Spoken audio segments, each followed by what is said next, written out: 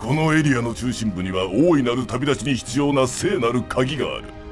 早く見つけ出さなければ。今から中心部に突入し聖なる鍵を回収する。行く手を阻むフラッドどもはことごとく焼き尽くせ。